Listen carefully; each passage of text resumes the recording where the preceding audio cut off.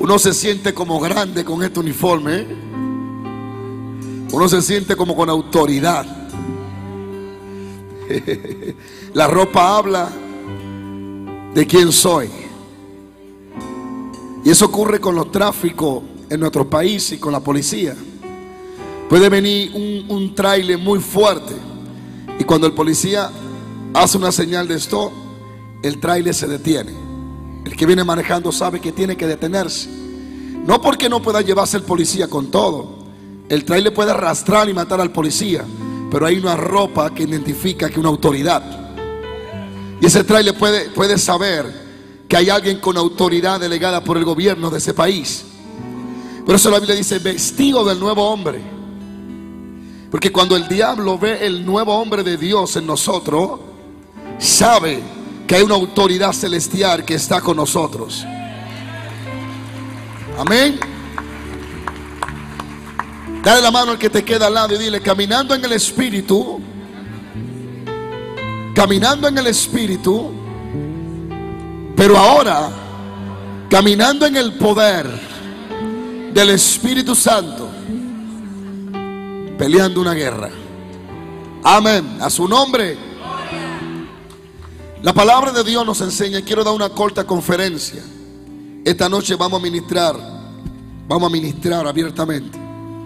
Pero quiero llevarlo a entender unos principios muy profundos que en los días pasados Dios ha revelado a mi vida y me están llevando a niveles muy profundos, más allá de un milagro, más allá de brincar, más allá de hablar en lengua, una vida siendo dominada y controlada por el Espíritu Santo. El diablo no le tiene miedo simplemente a alguien que hace milagro. El diablo le tiene miedo a alguien que ha aprendido a vivir en el Espíritu. Y quiero que se entienda muy claro, yo soy un hombre que creo en los milagros, creo en las señales, pero hay una vida mucho más excelente que esto. Y de eso quiero hablar. Tenemos gente que viene y danzan, hablan en lengua, pero al llegar a su casa son derrotados por sentimientos emocionales, por problemas. No saben enfrentar las situaciones. La Biblia comienza diciendo aquí que cuando Jesús fue al Jordán, Juan lo bautizó y los cielos fueron abiertos y descendió el Espíritu en forma de paloma corporal sobre él. Todos conocen esta historia.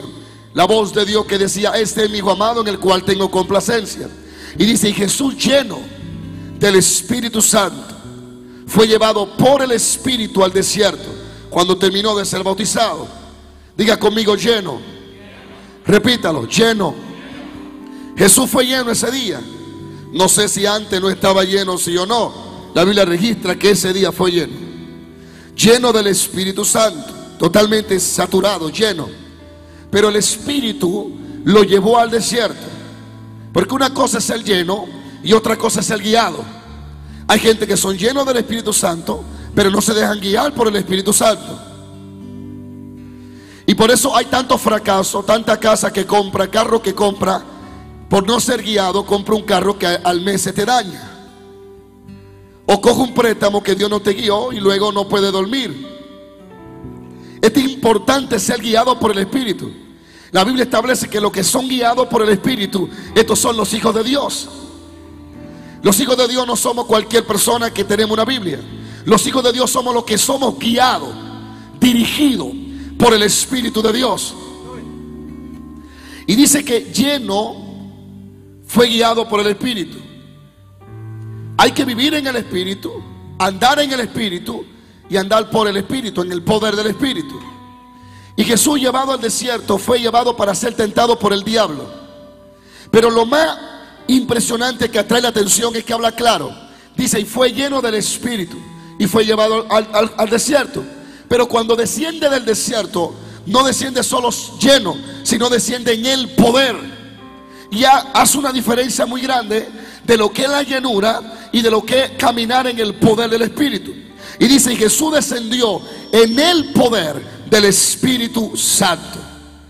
No es lo mismo ser lleno que caminar bajo el poder, que caminar en el poder del Espíritu Santo.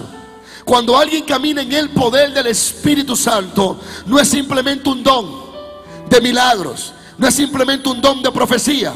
El hecho de él caminar por la calle, la gente que está en sus casas, que tienen demonio, comienzan a ser libres. Porque es la unción, yo le llamo la unción minchak, minchak en griego, es una en hebreo, es una unción que expande. Es una unción que no cabe en una iglesia. Es una unción que cuando tú estás ministrando 30 kilómetros a la redonda, la gente comienza a percibir un cambio. La atmósfera comienza a ser cambiada. Le llamamos la unción minchar, la unción que expande, que hace crecer.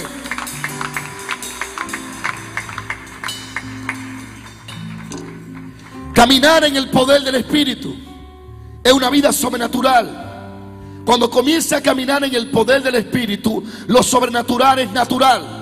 Tú oras por un alguien muerto y se levanta. Para la gente algo sobrenatural. Pero tú llegas a un nivel y a un grado espiritual donde para ti se convierte algo normal, algo natural, porque tú vives bajo esa atmósfera. Tú duermes bajo esa atmósfera. Tú caminas bajo esa unción. Caminando, dígalo conmigo, caminando en el poder del Espíritu Santo. Y yo creo que muchos de ustedes anhelan esto. ¿Cuánto anhelan caminar bajo el poder? ¿Cuánto anhelan caminar bajo el dunami de Dios? Bajo las señales, bajo los prodigios. Como hablábamos en el mensaje de antenoche, evidencia del poder de Dios. Esto solo se ve cuando comenzamos a caminar en el poder. Muchos cristianos son llenos del Espíritu, pero no caminan bajo el poder del Espíritu. Siente la unción de Dios, hablas en lengua, pero cuando va a orar por un muerto no ocurre nada. Entonces no es lo mismo ser lleno que caminar bajo el poder. ¿Alguien está listo para entrar a esta dimensión? No es lo mismo. Yo antes era lleno del Espíritu Santo y sigo siendo lleno. Pero cuando comencé lloraba por, los, por las personas que tenían muelas dañadas y se le caían los dientes. Entraba un hospital y era, ahí entraba hablando en lengua, ruca, manda, llama, lleno de la unción. Sentía corriente, sentía fuego, sentía la unción muy fuerte. Y cuando oraba por un enfermo dando la espalda se moría. Ya los enfermos de los hospitales ni me querían, no querían que yo lo tocara, porque era la muerte seguro. Me tenía miedo. Hasta que un día aprendí que caminar en el poder del Espíritu Santo no es gratis. La unción y la llenura es por gracia. La Biblia dice, Jesús dijo, si alguien quiere el Espíritu Santo, pídalo a mi Padre y Él se lo da. Pero caminar en el poder del Espíritu le costó a Jesús 40 días y 40 noches. Solo cuando pasa el proceso del ayuno, entonces dice, y vino en el poder del Espíritu. No es lo mismo ser lleno que tener poder que tenía sexo a usar el poder que habita en ti. El poder del Espíritu Santo. Cuando yo entendí que no era lo mismo estar lleno que caminar bajo el poder del Espíritu, entonces comencé a orar y comencé a ayunar y comencé a pagar un precio muy poderoso del cual le quiero hablar. Y sé que el tiempo no me va a dar para explicarle. Pero regáleme unos minutos más. Cuando comencé a entrar en ese nivel, entonces llegué al hospital no solo lleno, sino en el poder. Y cuando el enfermo me vio, me dijo, se murió fulano cuando lo tocaste. No me toque, le dije, no, ahora vengo con poder. Lo toqué y se sanó. Comencé ahora por la gente con problemas en las muelas y las que se le caían era porque le venía saliendo otra. Dios comenzó a hacer milagros en vidrio. La gente no me cree. Yo he visto milagros en las muelas en Panamá. Cuando comencé a caminar bajo este poder, Dios le ponía chocolate a la gente en las dentaduras y se lo ponía duro, le patificaba en, material de chocolate, en vidrio, en cristal, en diamante, en porcelana. Milagros extraordinarios. Pero esto solo comenzó a ocurrir cuando aprendí a caminar en el poder del Espíritu. Y sabe que descubrí, pastor, que este caminar del poder no es para pastores, no es para evangelistas, es para todo aquel que cree. Estas señales seguirán a los que creen. Y lo que el diablo te ha hecho creer es que esta unción solo es para los evangelistas. ¡Wow!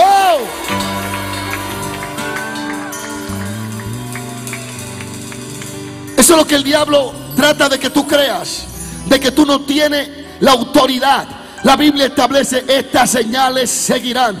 Todos tenemos el privilegio de caminar bajo el poder del Espíritu Santo. Cuando camina bajo el poder del Espíritu Santo, no solo ocurren milagros, sino que llega un empleo y en pocos días eres el supervisor, porque camina bajo una atmósfera de gloria, bajo una atmósfera sobrenatural. Alguien no me está entendiendo hoy aquí.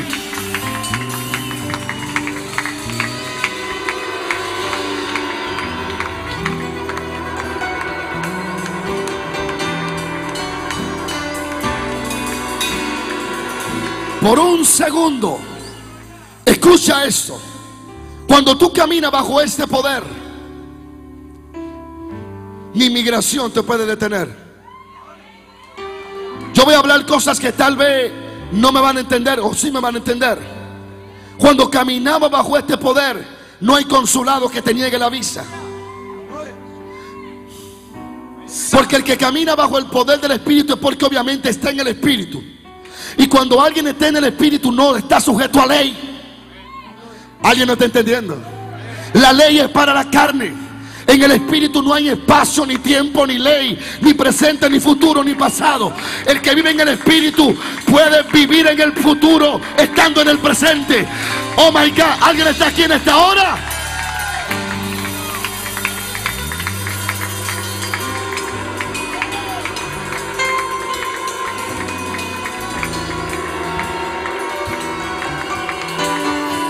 Ahora, pastor, ¿cómo puedo comenzar a caminar en el poder del cual usted habla? Estoy interesado, dirá usted. Sencillo. Este, este caminar con el Espíritu comienza negándote a la muerte al yo. Cuando Cristo fue al desierto, allí comenzó a negarse a sí mismo. Al negarse de, al comer, se estaba negando y sometiendo su carne a la obediencia del Espíritu. El comienzo de una vida sobrenatural en Dios es el comienzo de una negación a sí mismo. Tú jamás podrás vivir días gloriosos si no te mueres a ti mismo. Cuando tú comienzas a negarte a ti mismo, es el comienzo del camino en el Espíritu Santo. Y el ayuno es una de las herramientas muy poderosas que no se habla en muchos lugares que se ha sacado de muchas iglesias, que no hay que ayunar. Sin embargo, Cristo siempre tuvo que ayunar. El, uno de los beneficios del ayuno es que te da, te ejercita tener dominio propio. Todo viene en la mente, todo viene en el dominio propio. Ahí, ahí está el secreto. Cuando tú ayunas, te bendice, te abre el espíritu, se rompe en cadena, el diablo sale. Pero el objetivo más poderoso del ayuno en tu vida es darte dominio propio para que te niegue a ti mismo y domine tu cuerpo, tu carne y tu mentalidad pecaminosa. Eso hace el ayuno, te da dominio propio. Y la Biblia dice que el que se domina en proverbio dice, el que se domina a sí mismo es más fuerte que el que domina una ciudad entera. El sacrificio más grande de Cristo no solo fue la cruz, fue mantenerse bajo la ley del Espíritu y mantener sujeta la ley de la carne. La naturaleza carnal estaba en él. Porque la Biblia dice en hebreo que fue tentado en todo. Y Dios no puede ser tentado. Él como hombre tenía que vencer al diablo. Pero primero tenía que vencer su carne. Su propio yo. Y la, la Biblia lo establece. Tentado en todo según nuestra semejanza. ¿Para qué? Para que tengamos un sacerdote que se compadezca. Un sacerdote que sintió lo que tú sientes. Un sacerdote que el pecado lo tentó. Que lo tentó todo lo que a ti te tienta, Él lo tentó. Sin embargo, Él lo sometió bajo la ley del Espíritu. Y lo que estoy hablando, este es un mensaje que el diablo no le encanta. Utamasaya. Es un mensaje que los demonios no les gustan que tú oigas. Pues el diablo sabe que cuando tú tengas el espíritu, no hay forma de él derribarte. La única ventaja que tiene el diablo es la naturaleza adámica que habita en ti. Pero cuando tú sometes la naturaleza adámica bajo los pies de Cristo, no hay como el diablo vencerte. Pues el diablo no puede pelear espíritu con espíritu. Y cuando tú andas sometiendo la carne, eres un espíritu. Y el diablo no puede enfrentarte. No hay naturaleza.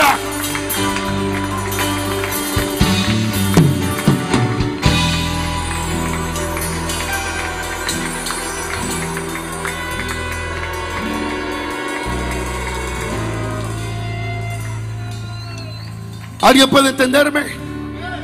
¿Alguien puede entenderme?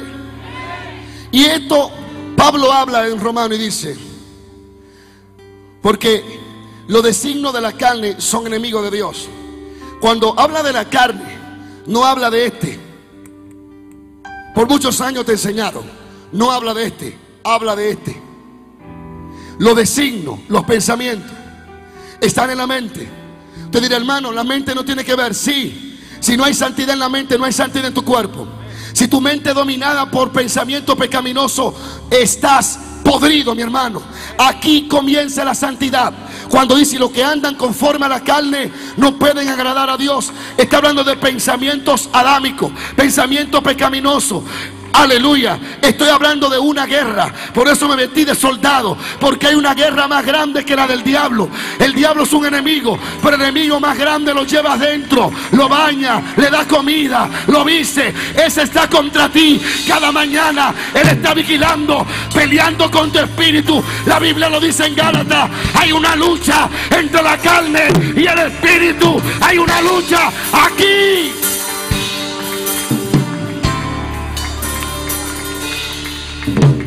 Estás en guerra. Y algunos de ustedes ni siquiera lo saben.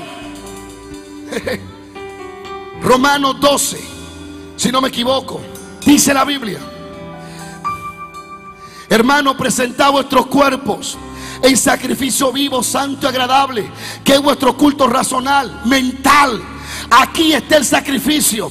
El sacrificio más grande de Cristo no solo fue la cruz, fue mantenerse bajo el espíritu y mantener sujeta a la carne. El sacrificio más grande tuyo no es ayunar, no es dar la ofrenda que vas a dar, no es mantenerte bajo el espíritu, como dice Romano. Por eso la Biblia dice, y las almas de nuestras milicias no son carnales, sino poderosas en Dios para la destrucción de qué? Fortaleza. No habla del diablo habla de los pensamientos pecaminosos y dice llevando cautivo toda altivez a la obediencia de Cristo.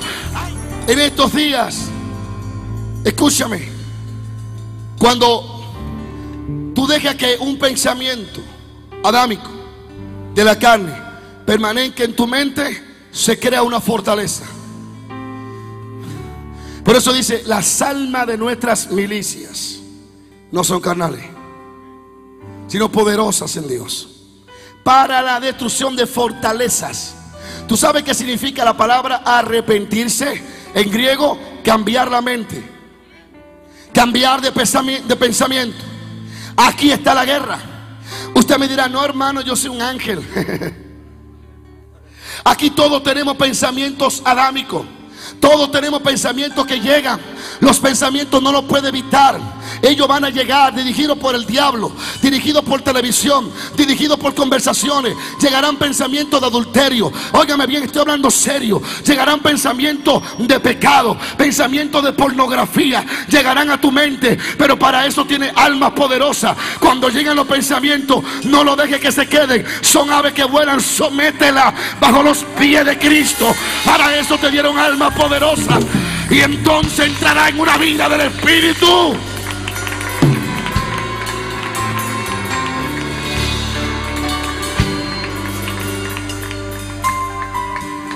¿Qué es vivir en el Espíritu? Sencillo. No vivir en la carne. No vivir en los pensamientos. Hermano, y es importante la mente. Claro. Cuando Dios mandó a Nabucodonosor a comer yelva, no le cambió la boca, ni le cambió los dientes, ni le puso patas de caballo. Nada más le cambió la mente.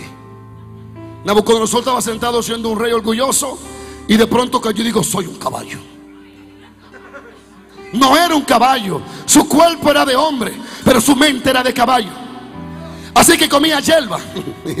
Ay, ustedes no me están entendiendo. Ahora imagínate que el diablo logre cambiarte tu mentalidad. Aunque eres un hombre poderoso, te ven la mente destruido. Y es allí donde está la guerra más grande tuya. Es por eso que Dios te dice, toma las armaduras de Dios, que son poderosas para la destrucción de fortaleza. Quiero decir algo. Caminar en el poder, antes de concluir, caminar en el poder del Espíritu Santo es cuestión de ser digno. Diga conmigo, digno. Jesús dijo, el que quiere venir en pos de mí o el que quiere ser mi discípulo, tome su cruz y sígame. Niéguese a sí mismo. Al él hablar de la cruz, te está hablando de una vida de sacrificio. Sacrificar la carne no es fácil. Pastor, ¿y usted no tiene pensamiento adámico? Claro, diario, 24 horas. Peleo contra ellos. Mi enemigo más grande no es el diablo. Pues él es un enemigo vencido. Si yo ando en el espíritu. No, no, no, están, en el aire. Cristo me entregó un enemigo derrotado. Él no me entregó un enemigo victorioso. Él lo derrotó en la cruz del Calvario. Y digo, como yo he vencido, vosotros también venceréis. Y el que está en vosotros es mayor que el que está fuera de vosotros. Así que el enemigo que está contra ti es derrotado. El enemigo más grande está conmigo. Duerme conmigo. Come conmigo. Todos los días por la mañana está de pie frente a mi cama. Así queriendo hacerme pecar. Alejándome de Dios cada día. No, no pierdo un segundo. Cada oportunidad, cada cosa que pasa por la televisión, Él se va a presentar. Es un enemigo. Pastor, está hablando algo, algo, algo que no es cierto. Y lo sabes. Lleva ese enemigo por dentro. Esos pensamientos te están matando. Pensamientos de adulterio, de fornicación, de pecado. Tú dirás, hermano, estoy en pecado. No está en pecado. Pero puede vencer esos pensamientos. Puede derrotarlo. Ese enemigo está aquí. La gente se concentra mucho en el diablo. Obviamente el diablo no ignoramos su maquinaria para que no tome ventaja. Sabemos que es un enemigo fuerte, pero el más fuerte habita conmigo. La naturaleza adámica, la naturaleza adámica que hay en mí es la que está contra mí. Y solo cuando yo peleo y tomo las armaduras de Dios y me visto de nuevo hombre y comienzo a pelear, es que comienzo a entrar en una lucha. Y esa lucha provoca que yo comience a andar en el espíritu. Y le voy a hablar al final cuáles son los beneficios de andar en el espíritu. Diga conmigo, voy a vencerme por el poder del Espíritu Santo. Diga conmigo, merecedor. La palabra digno en griego, exión, E-X-I-O-S, que significa merecedor. Cuando Cristo dice, toma tu cruz cada día y entonces será digno de mí. Nadie será digno de mí si no toma su cruz. Está hablando de un sacrificio. Nadie podrá operar en el nivel que yo opero si no ha sacrificado su naturaleza adámica, su carne, su carne. Habla de un sacrificio. Te está diciendo que diariamente va a un sacrificio. Y dice entonces será digno. El caminar bajo el poder de Dios tiene que ver mucho con ser digno, merecedor. El poder no es gratis, señores. No lo pueden conseguir. Ustedes sienten el poder de Dios aquí, pero ustedes saben que aquí se vigila, se ora y se ayuna. Ustedes muchos van al monte. Muchas iglesias que lo ven por televisión dicen son unos locos, pero se manifiesta el poder de Dios. Y dicen aquí se va a manifestar. Si ellos no pagan el precio, jamás verán la mano de Dios a favor de ellos. Se lo está diciendo alguien que ha leído libros de toda la gente ungida. Hay gente que van a congreso, hablan de Catherine Kuhlman, pero no saben las noches que pasaba orando. Hablan de Simon en la calle Susa, pero no hablan de los ayunos de 10 y 15 días que hacía. Hablan del Pentecostés, pero no hablan del sacrificio que hacía. Quieren la gloria, pero no quieren pagar el precio. Quieres caminar venciendo al diablo, venciendo tu carne. Tiene que pagar el precio. Y el precio es negarte a ti mismo. Toma tu cruz y sigue al maestro.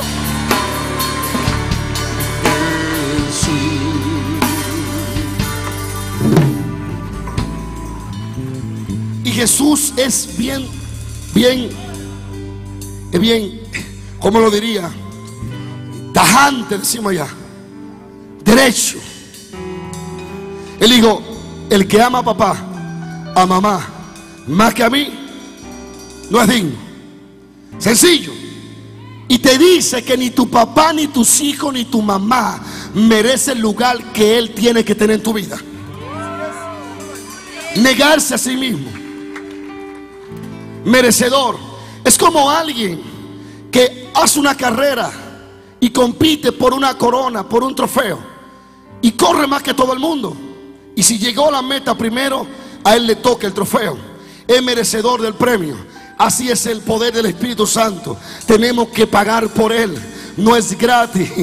Aleluya. Aleluya. Aleluya. Usted puede recibir una unción fresca, una motivación de Dios, pero para operar en el nivel que usted ve hombre operar, tiene que pagar el precio. Tal vez no igual que ellos, tal vez mayor o menor, pero esto cuesta un precio. De hecho, la manifestación del público, la manifestación de la gloria de Dios en público es una recompensa de un secreto. Jesucristo señaló en el capítulo 6 de Mateo y dijo, mi Padre que está en secreto, te recompensará en público. Habita en secreto, está en secreto, pero se manifiesta en público. Hay gente que quiere manifestar una gloria en público que no le ha sido revelada en secreto.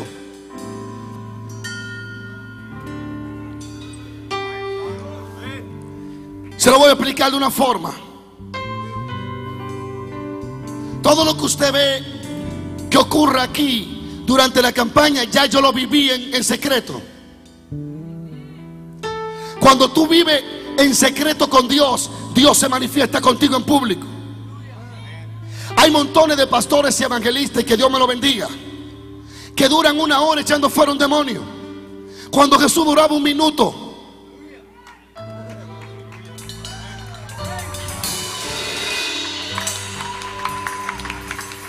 Duran tres horas echando fuera un cáncer. Cuando Jesús no me decía sal y se iba el cáncer. Pero ¿dónde estaba el secreto? Que Jesús pasaba 10 horas y 8 horas orando y un segundo con los enfermos. Lo contrario, hay gente que pasan cinco horas echando fuera un demonio y un minuto en secreto con Dios. Ahí está el problema. Falta power, falta evidencia, falta secreto. El secreto está en estar con Dios a sola y Él se manifestará en público a favor tuyo.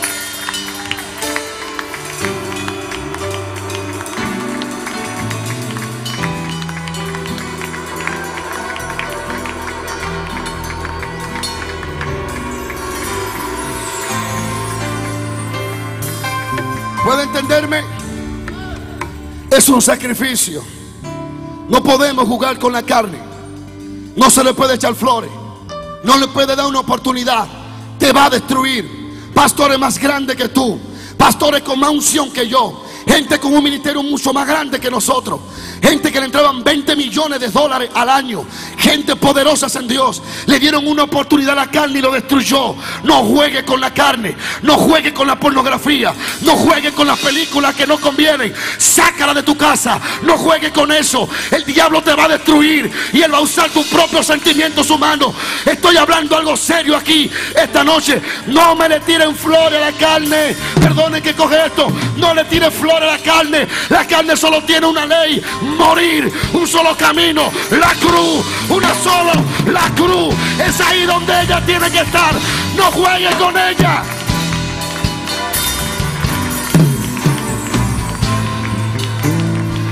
No juegue con ella.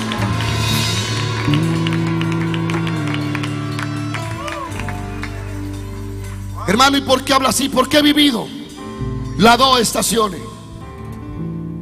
Ay, pastor, sí. Quítemonos las máscaras. He vivido ahí. Sé lo que vivir en la carne. Sé lo que comenzar en el Señor nuevo y vivir en el estado carnal y mental. En la mentalidad pecaminosa. Y sabe algo, solo hay muerte. Solo hay depresión. Solo hay soledad. Solo hay angustia. Yo sé lo que estar en la carne. Yo sé lo que vivir en la carne es muerte. Pero también sé lo que vivir en el espíritu es vida, paz, poder, gozo. Dile al que te queda al lado, tu enemigo está contigo. Es tiempo de que lo enfrente. Y manifiesta, ay hermano, no, no, no, no, yo no vivo en la carne. Y tiene celo. No, no, yo vivo en el espíritu y quiere competir. No, no, yo soy espiritual y critica a otro. Manifiestas son las obras de la carne. ¿Sabe cuando yo me doy cuenta que alguien anda en la carne? Por lo que habla y por sus frutos. Celos, contienda, envidia. ¿Cómo es posible? Yo no sé, bueno, yo voy a hablar de lo que Dios me diga. Ah, yo cómo es posible que un pastor envidie a otro pastor, un evangelista a otro evangelista, un cantante a otro cantante, manifiesta son las obras de la carne. Oh my God, un cantante, un predicador predicando aquí con competencia, con envidia, es un enemigo de Dios. La Biblia establece que los que viven conforme a la carne no agradan a Dios, son enemigos de Dios. Y es por eso que este es el mensaje más poderoso de esta campaña, porque te estoy empujando a caminar en un nivel mayor, en una gloria mucho mayor. La del Espíritu. Yo conozco hombres que eran muchísimo más ungidos que yo. Pero la avaricia le quitó la unción. La Biblia establece en Gálatas adulterio, fornicación, envidia, lascivia. Y comienza a hablar chisme, contienda, diserciones, pleitos, celo. Y dice, estas son manifiestas. Pero el que anda en el espíritu, paz, amor, bondad, mansedumbre, fe, templanza. Y comienza a hablar de los frutos. El hecho anda, llama aquí. Tal vez diga algo contrario a lo, que, a lo que he predicado, pero los que están en el espíritu van a entenderme. Una cosa es caminar con dones. Y otra cosa es caminar en el poder del Espíritu. Es que tú tienes el Espíritu. Una cosa es tener un don de milagro. Y otra cosa es, caminar, es ministrar bajo la gloria de Dios. Cuando tú ministras bajo la gloria de Dios, yo no tengo ni que tocarte. Tú te sanas en el parqueo antes de entrar aquí. Cuando tú caminas bajo la gloria, hay gente que tenemos dones, pero hay otros que caminamos bajo una atmósfera. Que los cielos siempre están abiertos. ¿Alguien me está entendiendo aquí? Y usted va a encontrar algo. Y escúchemelo. Han leído la historia del profeta joven y viejo. Que el viejo engañó al joven mintiendo. Y dijo, ay, el ángel Miguel me visitó. Y me dijo que tú tienes que comer conmigo en la casa. Cuando Jehová le había dicho al joven, no coma ni beba en esta, en esta tierra, en esta ciudad. Y él se dejó seducir engañándolo. No lo engañó un impío. Lo engañó un varón de Dios. Pero era viejo. Viejo no tenía conexión con el cielo. El mayor error suyo es escuchar a alguien que no tenga conexión con el cielo. Matará tu sueño y te hará devolverte del propósito eterno de Dios. Por eso que no todo el que te dice santa, santa, santa, santa, santo viene de parte de Dios. Por su fruto lo conoceréis. Y la Biblia establece que este joven fue y dijo, gracias papá por el ángel que enviaste a tu siervo. Y dice que mintiendo engañó al profeta joven. Y mientras se comían unos tacos de lengua con unos, una enchilada tremenda, Apenas tenía el taco en la boca cuando vino el Espíritu de Jehová sobre el mentiroso profeta. Y dijo así, dice Jehová, morirá y un león te matará en el camino. Y comenzó a profetizar. Y se cumplió la profecía, se murió el profeta joven, como lo dijo el mentiroso. Ahora, ¿cómo es posible que una hora antes este hombre hable mentira y una hora después venga el Espíritu de Dios sobre él y lo use? Y no era el diablo, era el Espíritu de Dios. ¿Sabe usted por qué? Porque el poder de Dios en nosotros habla de quién es Dios, pero los frutos hablan de quién tú eres. Por su fruto lo conoceréis. Estoy hablando algo mayor que un milagro. Vivir en excelencia, en santidad en la mente, vivir en el Espíritu Santo no es fácil. Es una guerra. O la pelea o te muere. O la pelea o te muere. Dios te está llamando. mío. El Señor me enseñó a caminar en el Espíritu sin estar de rodillas. Porque la religión o en mi iglesia me enseñaron que solo de rodillas yo estoy en el Espíritu. Y ahí está el engaño más grande del diablo. Porque cuando no te de rodillas, Él no te va a atacar cuando tú estés orando. Él te va a atacar entonces cuando salga de la oración. Porque sabe que volviste al estado natural de depresión, de desánimo, de duda. Dios te dice, estoy contigo. No lo creo, estoy sola. Y ese, ese estado natural y carnal le da ventaja al diablo. Dios me enseñó a estar en el espíritu de rodilla y de pie. A estar en el espíritu en el Walmart. ¿Alguien no me está entendiendo? A estar en el espíritu comprando unos zapatos. ¿Por qué? Porque tengo un culto razonar aquí. Aquí. Aquí lo tengo. Aquí. Aquí. Usted me puede, mando. Si usted anda conmigo, usted se asusta. Yo entro a una tienda y estoy comprando y de pronto digo, te ato, diablo. Y usted dice, está loco. No, es que vino un pensamiento adámico y lo até. Yo vivo en el espíritu constantemente. Escuche algo. Como vivo en el espíritu, constantemente vivo en el poder.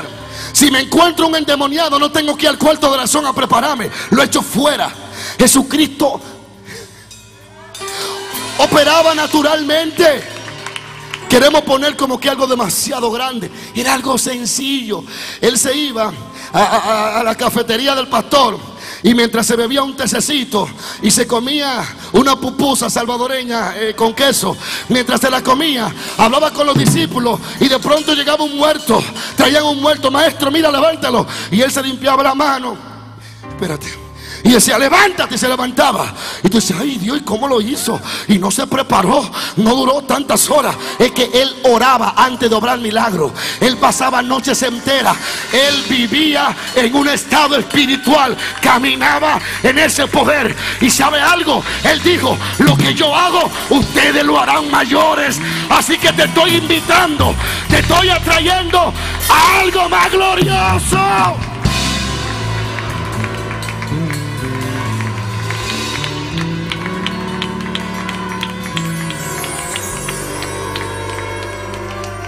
Mira.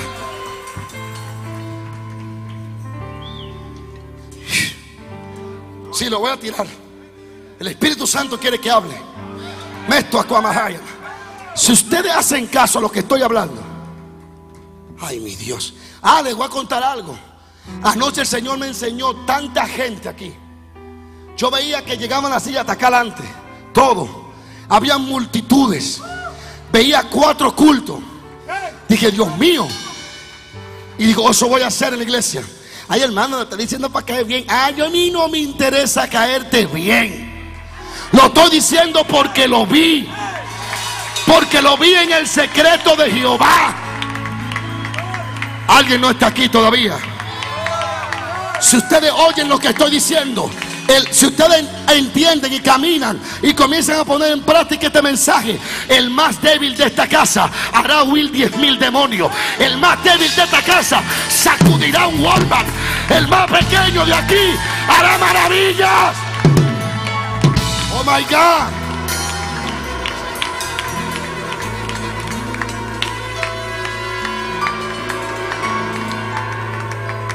Mira, yo estaba en una campaña, te voy a hablar de dos cosas. Y esa noche, Jehová levantó como 30 paralíticos. Terrible. Y yo caminaba normal, con una camisita y una colbatita. Me subí en el carro y me metí.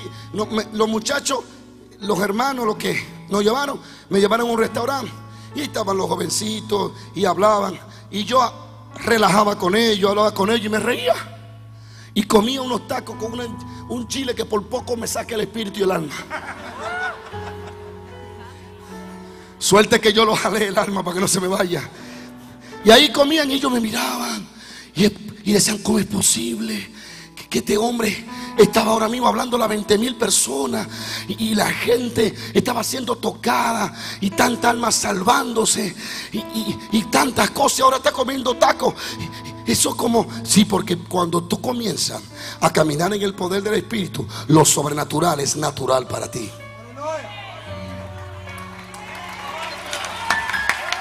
Si comiendo taco me había entrado una endemoniada, pongo el taco a un lado y le pongo la mano y le echo fuera. ¿Sabe usted por qué? Porque aprendí a vivir en el Espíritu. Y al vivir en el Espíritu, vivo bajo el poder de Dios 24 horas. Ese es el problema que el diablo te ha hecho creer. Que solo puedes sentir el poder de Dios en la iglesia. No, 24 horas Dios lo quiere. Mire, este hombre me ha impactado. Es la primera iglesia que yo encuentro en Estados Unidos que da culto de lunes a domingo. Ni siquiera lo puedo creer. ¿Por qué? Porque todos los días Dios tiene algo nuevo. Todos los días Dios va a hacer. Todos los días. Todos los días Dios hacía algo. Dile Dile que te queda al lado, más tu acuay. Dile, te toca hoy algo grande. Dile, ay diablito, ay diablito, mi enemigo lo voy a vencer. Algo sobrenatural va a entrar en mi voz. Mira, uno de los beneficios, no de andar en el poder del Espíritu, el poder del Espíritu son cosas tremendas. De vivir en el Espíritu, es que tú no habitas en tiempo. Te lo voy a decir de esta forma. El que vive en el Espíritu, bueno, Jehová dice, no haré nada sin revelar a mis siervos profetas. El que vive en el Espíritu Vive en el presente estando en el vive en el futuro estando en el presente. Dios no tiene tiempo, Dios no habita en tiempo ni en edades. Él hizo el Cairo, el tiempo, pero él está fuera del tiempo. Por eso es que él puede decir, yo soy el primero y sigo siendo el postrero. Y soy el del medio y soy el de al lado, porque Dios habita en cualquier lugar al mismo tiempo. Yo no sé si me están entendiendo. Escuche esto. Voy a concluir. Ay Dios del cielo. ¿Quieren eso? ¿Están listos? ¿Están listos para recibirlo? Hermano, pero yo soy una viejita, ya yo no puedo hablar. Para ti esto también. Esta gloria es para ti también. Se lo voy a repetir. Por eso es que un profeta Puede ver lo que te está pasando o lo que te pasó. Ok, se lo voy a explicar. Yo puedo ir al futuro estando en el presente. Hermano, ¿y cómo hace eso? Porque cuando entro en un estado espiritual, no hay ley. No hay ley de tiempo. No hay ley de gravedad. Por eso Cristo podía caminar en el agua. Porque no había ley. La ley es para la carne. El Espíritu no tenía ley, ni tiene. Hermano, ¿qué habla? O sea que para Adán era lo mismo caminar en la tierra como caminar en el aire. Antes de pecar, la ley vino con el pecado. El pecado vino con la ley. La ley de enfermedad, la ley de la gravedad. Si no, pregúntele a Adán, viejito Adán, ¿cómo le pusiste los nombres a todos los pescados del mar? ¿Ellos salieron o tú entraste bajo el agua? Tuvo que pasar algunas cuantas horas debajo del agua. No había muerte no se podía morir. Cristo no solo vino a salvarnos, vino a llevarnos al estado del primer Adán. Él es el segundo, vino a llevarnos a ese nivel de gloria. ¿Qué estás hablando, hermano? Sencillo. Cuando yo estoy en el Espíritu, puedo ir al futuro estando en el presente. ¿Y qué es lo que ocurre? Bueno, un día estaba en, Indianápolis predicando. Y esa noche, esa tarde me senté le dije, precioso, ¿qué vamos a hacer hoy? Aquí, aquí paralítico vas a levantar. Ándale, ándale. Dime algo. Él me sacó de mi cuerpo y me llevó tres horas adelantado al culto. Llegué al culto, vi el mensaje, prediqué el mensaje, salí a todos los enfermos conforme a Dios. Vi un paralítico que había ahí, lo levanté y después volví tres horas atrasada al cuerpo. Y dije, ya está hecho, solamente voy a manifestar en lo visible lo que se hizo en lo invisible. Llegué al culto y exactamente pasó tal como lo había visto. Una visión, claro, pero también, ay Dios mío, estoy hablando algo que yo no sé si van a entender. El segundo hijo mío, tres meses antes, estoy llorando de rodillas salgo del cuerpo y me adelanto tres meses después en el parto y entro al hospital. Dejé a mi cuerpo tres meses atrás. Y el Espíritu Santo llevó mi espíritu tres meses adelantado. No, Dios mío, alguien, alguien que entienda lo que le quiero decir. Y cuando yo llegué al hospital, ah, mi hijo nació muerto. Mi esposa estaba muerta. Y Dios me dijo, resucítalo. Le puse la mano y oré a mi esposa y resucitaron. Y dijo, eso iba a pasar tres meses adelantado, pero te traje a ti tres meses adelantado para que ores por ello. ¿Alguien está aquí? Así que tres meses adelantado, entonces me devolví tres meses atrasado. Y llegué a mi cuerpo donde estaba y me paré y dije, mi esposa sí va a morir, pero no va a morir ya. Le dije a mi esposa, no tenga miedo, te ibas a morir. Vino la mamá el otro día y dijo, Dios me dijo que, que, que, que, que Dayana se, se va a morir. Y que el niño se, va a, se iba a morir. Dijo la, la suegra, dije, no, ya no se va a morir. Yo fui tres meses adelantado y oré por ella. Usted no me está entendiendo. Pasaron los tres meses. Cuando llegaron los tres meses, para demostración de que era real lo que había vivido, el hijo mío nació muerto. Pero no se quedó muerto. Porque yo tres meses adelantado lo había resucitado en el poder del Espíritu. ¿Alguien está aquí? Y cuando por eso el que vivir en la carne es muerte, depresión. La depresión está en la gente que vive en lo natural. En el espíritu es paz y gozo en el espíritu. Porque en su presencia hay espíritu de gozo y delicia su diestra. En la carne es depresión, pero en el espíritu hay vida eterna. ¿Alguien me está entendiendo aquí esta noche? Esta tarde.